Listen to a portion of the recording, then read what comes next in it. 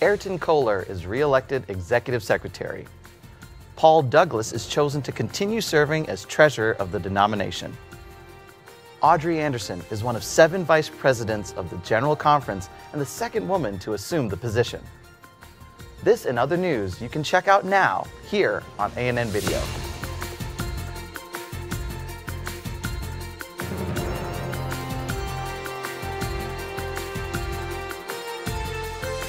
During the final minutes of the business session on Monday, June 6th, the Executive Committee of the Seventh day Adventist Church voted to re elect Ted N.C. Wilson as President of the General Conference of Seventh day Adventists. This will be Wilson's third term. The delegates confirmed the nominating committee's decision. 1,284, or 74.9% of those voting, voted yes, and 431 delegates, or 25.1%, opted for no. The nominating committee also appointed seven vice presidents to join the leadership team for the denomination. The seven names include five current vice presidents Abner de los Santos, Geoffrey Mbwana, Thomas Lemon, Artur Stele, Guillermo Biaggi, and two new names, Audrey Anderson and Maurice Valentine. Anderson has been serving as an executive secretary in the Trans European Division and Maurice Valentine has been serving as vice president in the North American division. Dr. Ella Simmons, who came on stage to chair this portion of the business meeting, had announced her retirement prior to this year's GC session. Born in Louisville, Kentucky, Simmons was the first woman to hold the vice presidency position in the Seventh day Adventist Church. She was first elected at the 2005 General Conference session in St. Louis and is stepping down after 17 years of service in the same place where her term began. At the end of the second day of the business meetings, Hensley Moorooven was elected Undersecretary of the General Conference of Seventh day Adventists, and Gerson de Santos, Claude Richli, Gary Krause, Elbert Kuhn, Karen Porter, and Samuel Saw were elected Associate Secretaries. William Costa Jr. was also nominated and confirmed as World Communication Director for the Seventh day Adventist Church. To see everyone who has been elected so far, go to gcsession.org slash voted positions. It's now time to hear about everything God is doing in various parts of the world through His people. Let's start with Southern Africa, in the region known as the Southern African Indian Ocean Division.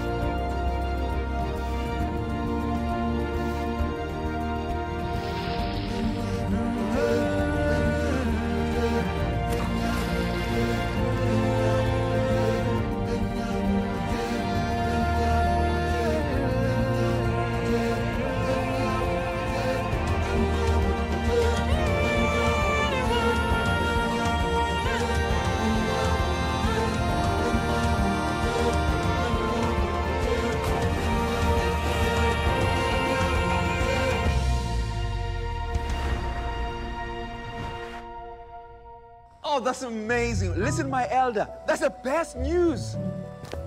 Oh, it's really brilliant. We bless the Lord for that, man. Yes. Ah. Yeah, you my boy. Oh, this is really brilliant. Listen, thank you so much for sharing.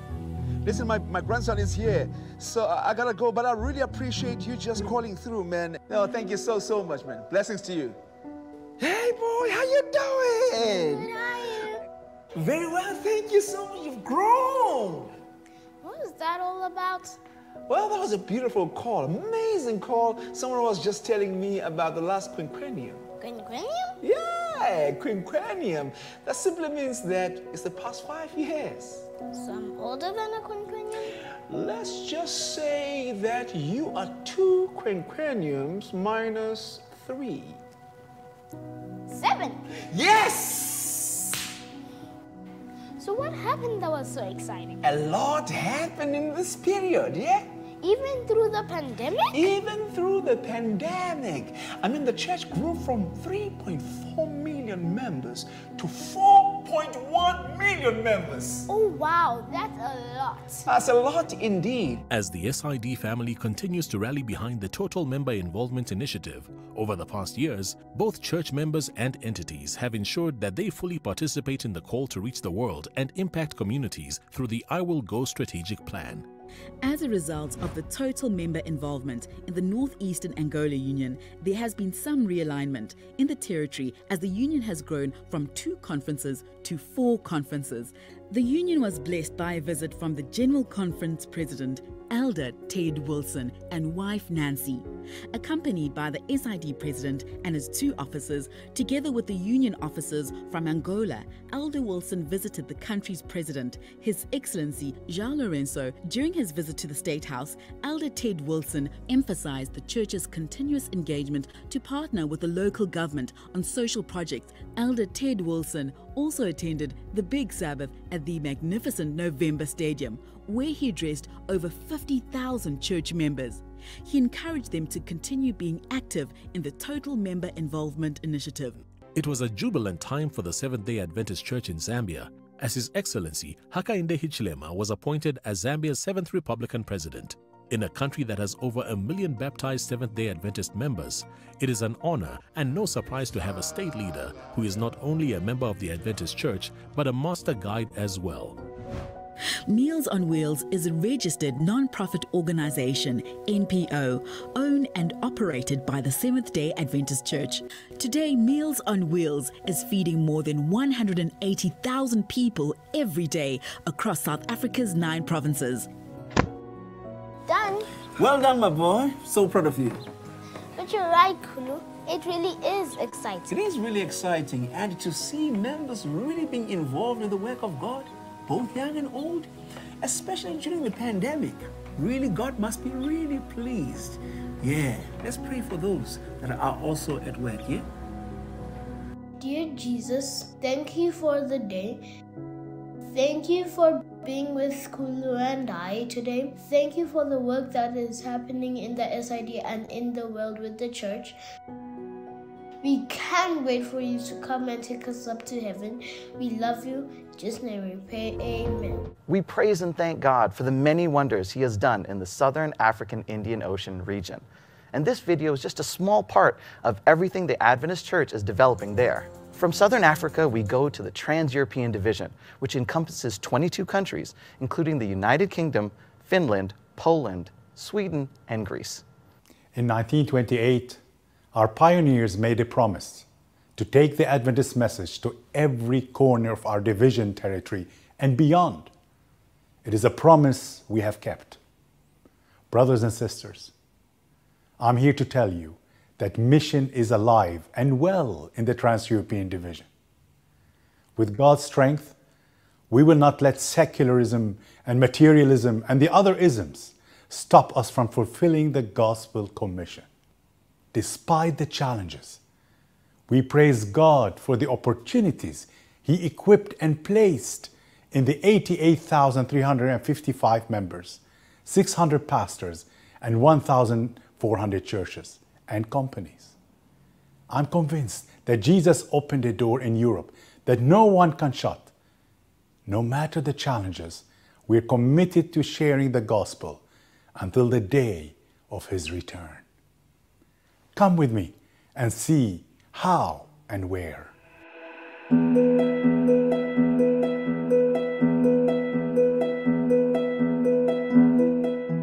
Belgrade, Serbia, a group of courageous bikers is turning every ride into mission.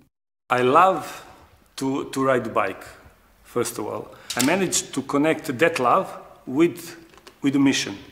The Adventist Motorcycle Ministry is about sharing the gospel in practical ways. They organise rides, invite their non Christian friends, and allow conversations to flow naturally. And the Holy Spirit is moving powerfully amongst them. We have Bible study online. We have Zoom classes. At the moment, we have Focus on Prophecy Zoom classes that are happening every Thursday. We have also online books for free that people can download on many, many different topics. We have um, online Bible school where people can sign for it, and actually, we have really good feedback. In the end of the day, our aim is to spread the gospel all over Ireland. That's the That's the aim. Today, the gospel of grace shines brightly in Ireland, bringing hope and cheer to people in crisis. The worldwide COVID pandemic forced us into lockdown, but couldn't stop us from sharing the gospel. I believe that Zoom has definitely helped us with our mission. It's, it's, neighbor, it's given us opportunities, it's opened doors where we can step into places that we couldn't have gone before. In uh, Ukraine, I, I was there uh, with my family. Death, we see uh, houses which were destroyed, we see some circumstances when human life doesn't have any kind of value for other people. More than six million people fled Ukraine to find safety and refuge in neighbouring countries. Church members have opened their doors to welcome refugees, demonstrating that love knows no borders. We are growing a new generation of missionaries, supporting their holistic development with new Adventist schools and programs designed to help them flourish. In Albania, a predominantly Muslim country, children are teaching their parents how to pray. Let me tell you the beautiful story of one of our students, a four year old boy. His family decided to move abroad.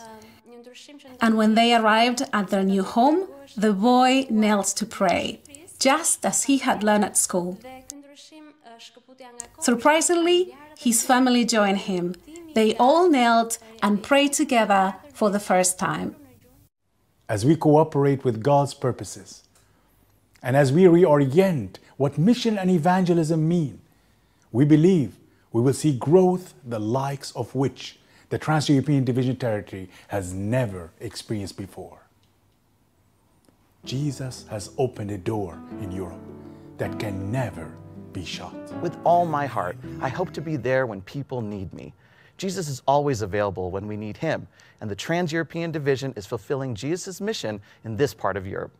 After the break, you will learn about how the nominating committee is formed and what its functions are.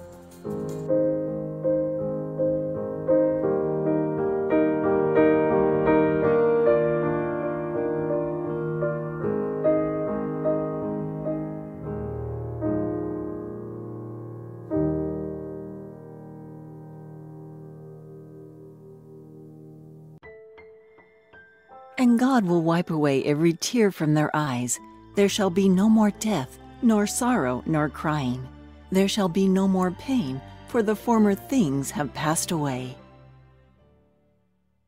For everything God created is good, and nothing is to be rejected if it is received with thanksgiving, because it is consecrated by the Word of God and prayer. For I know the thoughts that I think towards you, says the Lord, thoughts of peace and not of evil, to give you a future and a hope. Jeremiah 29:11. These things I have spoken to you, that in me you may have peace. In the world you will have tribulation, but be of good cheer. I have overcome the world.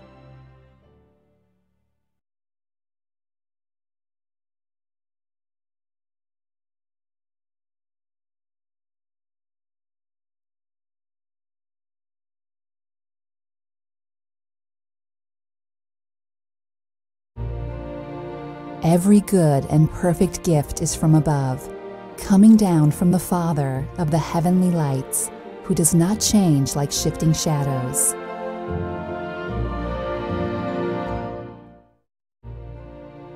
I will give to the Lord the thanks due to his righteousness, and I will sing praise to the name of the Lord the Most High.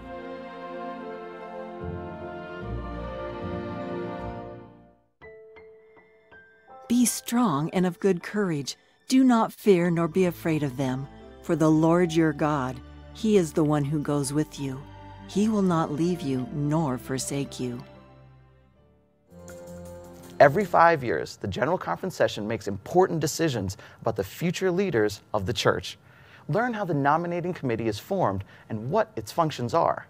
The General Conference session is a business meeting where important decisions are made about the future of the Adventist Church, while delegates have the responsibility to vote on recommendations resulting from previous executive committee meetings. The nominating committee is responsible for electing church leaders. To understand how the nominating committee is selected, it's important to understand the role of the delegates in this process. As the election process begins with nominating candidates, the nominating committee is formed on the first day of the session. Delegates separate into their own divisions where they each choose a portion of their delegation to join the nominating committee. While each division selects 10% of its regular delegates, the General Conference selects 8% of its delegates at large to form the nominating committee. This year, there are 268 people on the nominating committee. Once all members are selected, the nominating committee is directed to a private room where it will select its own officers a chairperson, vice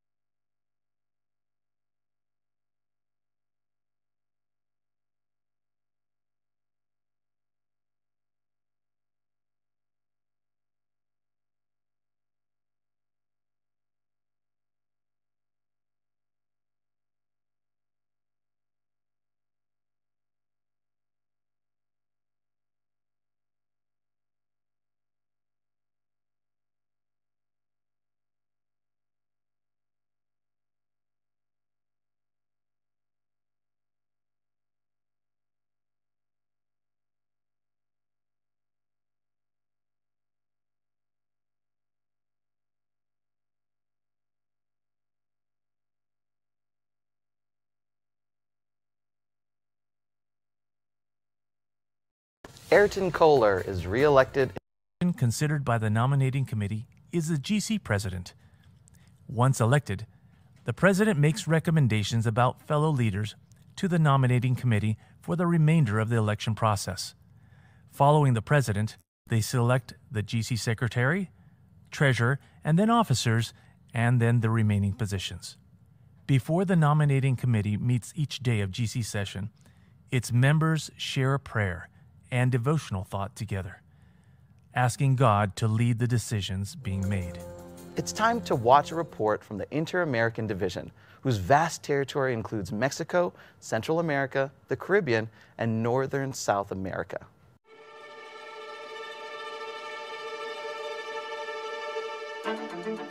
In every story we read or hear about the pioneers of the Seventh day Adventist Church in the Inter American Division territory, we see portrayed a great deal of hard work, courage, selfless service, and determination.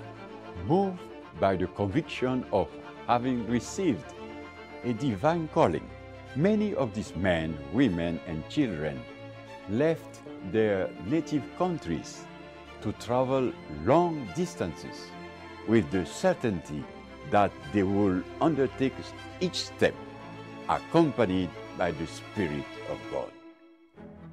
That the Inter-American Division was officially organized in 1922 and today 100 years later, it continues moving forward, seeking to crown its mission, not here on earth, but in the heavenly kingdom.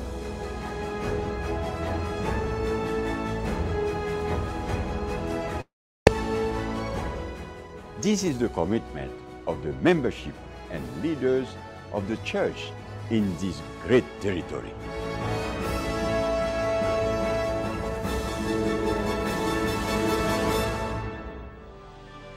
Son miembros muy fieles y altamente comprometidos con el Señor. Gracias a esa fidelidad y a la dirección del Espíritu Santo, la misión sigue avanzando en pequeñas comunidades, ciudades medianas y grandes urbes. Es un milagro y una manifestación de la voluntad divina, pues a pesar de los desafíos de salud, sociales o económicos que vivimos en el mundo, la iglesia avanza y crece a pasos agigantados.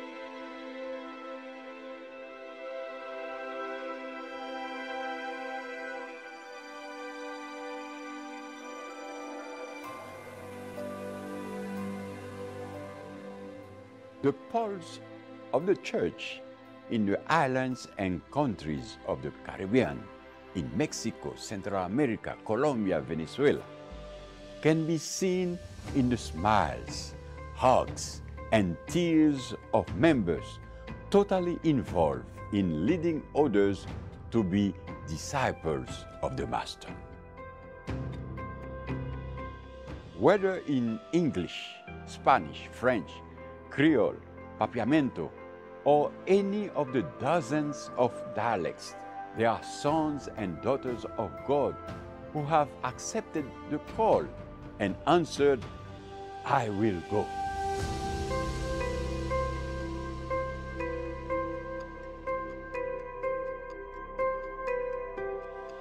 There are no ages or limitations of time and place to accept the Lord's invitation. Members of all ages, with the support of their elders and pastors, have joined in preaching from home, school, or university, in the streets and offices, through radio or television, using new technologies, implementing creative and innovative ideas. Unlike our pioneers, many have left everything behind to travel to faraway places, even amidst the world's most uncertain and challenging times.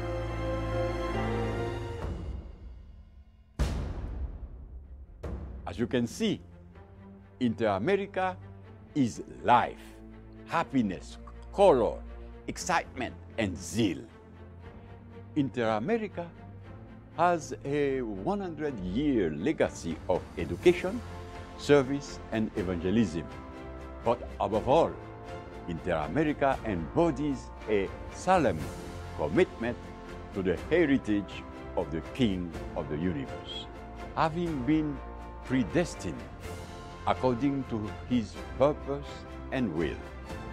Today, we give him glory and praise. We believe in him. We wait for him, looking forward to the glorious day when we will be sealed with the Holy Spirit of promise.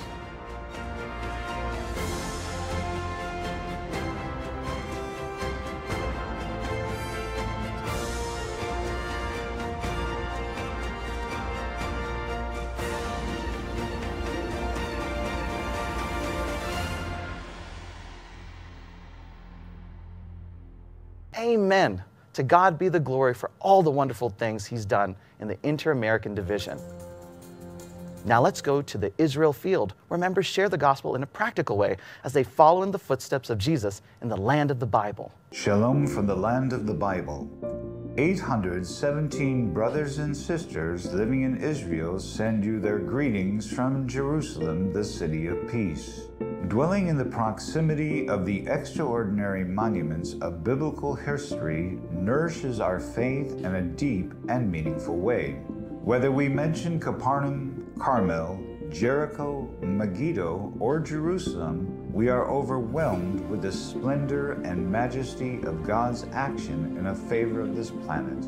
But in a special way, we are thrilled to walk in the footsteps of Jesus and his apostles. In a country that knows so many threats for its safety, and where the walls between religions are extremely tall, it is important to choose the right approach in order to share with others the everlasting message of peace. One of the most effective methods is to build the centers of influence. Through the faithful and generous support of the global mission, we have several of them where we mingle with people, minister to their needs, earn trust, and address the message given by God to themselves.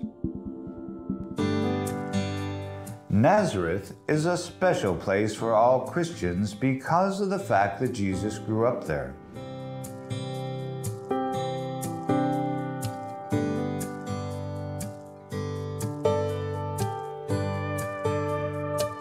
By God's grace, during these last years, it was possible to organize multiple efforts in order to reach the Arabic population, such as computer training, health presentations, English as a second language lessons. But the involvement of the Adventist World Radio with building a new studio represents an immense blessing for the Israel field. This project will bring hope to the city and to the entire region, including surrounding countries. The young generation is representing one of the most dynamic portions of the Israel field led by Dara Doroshenko, with the support of Richard Medina, Valentin Elkin, Sarah Castle, and others, the young people across Israel are vastly implicated in the life of the society.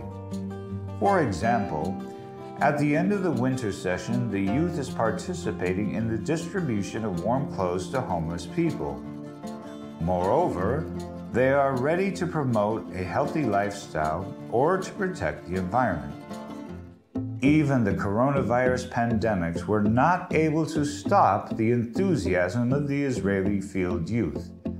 They found a way to spend more time in nature and to have regular online meetings, strengthening ties and enjoying online fellowship. At the same time, a recent special event will stay in the memories of ah all when, at the end of the spiritual activities, one girl gave took her decision to make the covenant with Christ through the waters of baptism.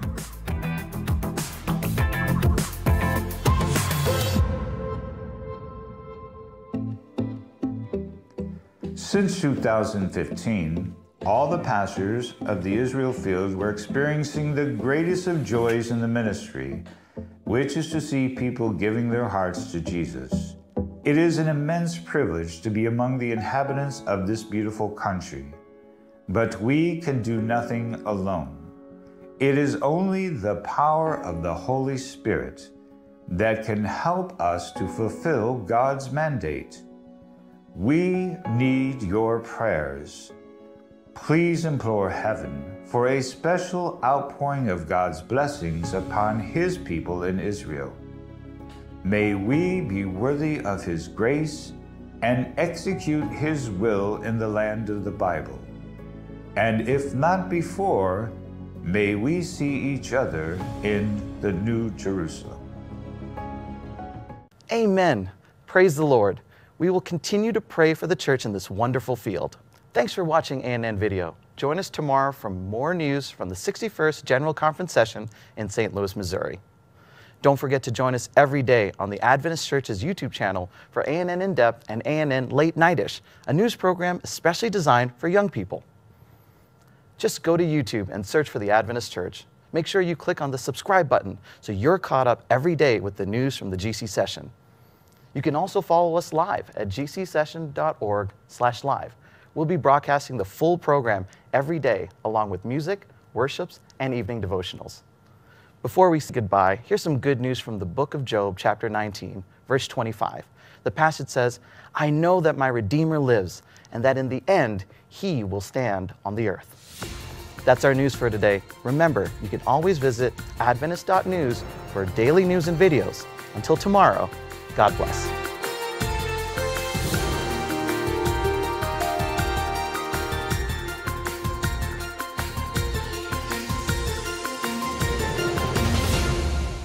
Hi, everybody. Welcome to ANN In Depth. Thank you so much for joining me today. I am alone, and that's okay. We're going to get through this. We're just going to do a few updates because a lot is going on. And actually, the nominating committee is meeting right now to report on some of the new um, recommendations to the uh, delegates. But before they did that, they reported on the demographics of the nominees to the General Conference because there was some discussion about that yesterday, if you remember. There were some questions on gender and representation. So they are reporting on that to the floor. The nominating committee did return a report this afternoon with nominations from World Division presidents. Instead of naming nominees for the Eurasia division, the committee read a statement on behalf of the division. They requested to extend the terms of their current officers until 2022 annual council. Most of the names on the list were the incumbents, like we've heard this past couple days, so to view all of those names, visit gcsession.org and click on business. There are some names of newly elected division presidents though, and we're gonna go through those just now.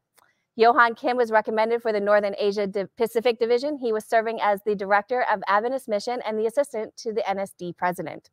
Harrington Akumba Kumbwa was recommended for the Southern Africa Indo-Ocean Division. He was serving as the union president of the Zambia Union Conference, Southern Zambia Union Conference, and the Southern Africa Indian Ocean Division. Roger Caderma was recommended as the Southern Asia Pacific Division. He was serving as president of the South Pacific Union Conference. Daniel Duda was recommended as the Trans European Division president, and he was serving as the education director of that division. And Robert Osei-Bonsu was recommended for the West African Division.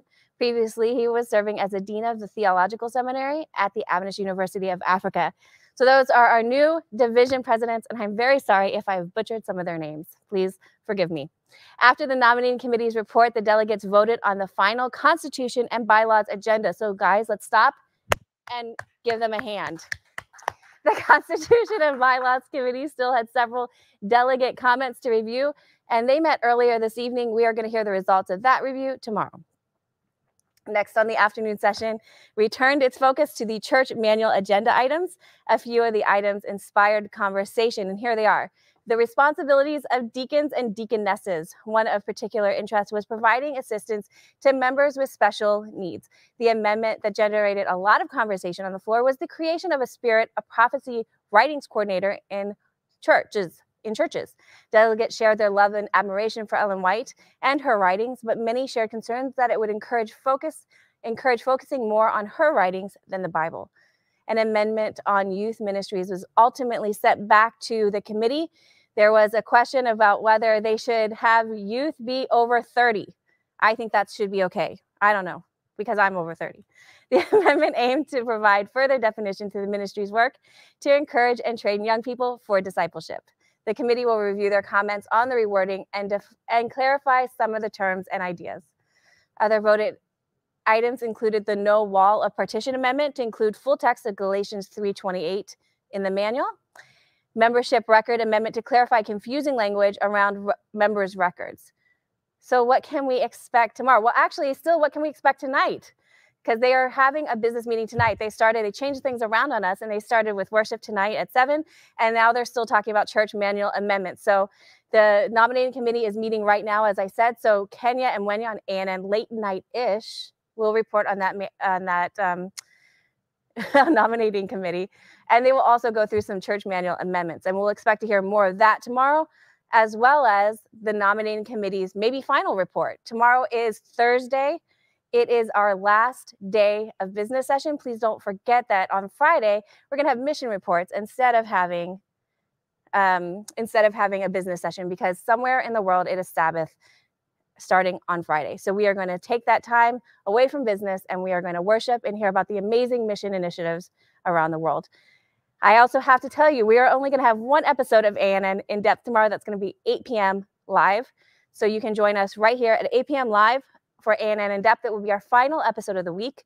Don't forget, we will also have ANN Late Night Ish tonight at 9:30, and we will have ANN video at 7:30 tomorrow night, and the final episode of ANN Late Night Ish at 9:30 tomorrow night. So we are going to be wrapping up our coverage tomorrow, but ANN video will still have one more episode on Friday night. So you'll have plenty of places to get your news. If you have any questions, please let us know. And don't forget, I don't know if you guys know this, but we have people waiting to pray for you on our social media channels Facebook, YouTube, Twitter, and they will pray for you 24 hours a day, seven days a week. So make sure you drop in a prayer request. We'll see you next time. God bless.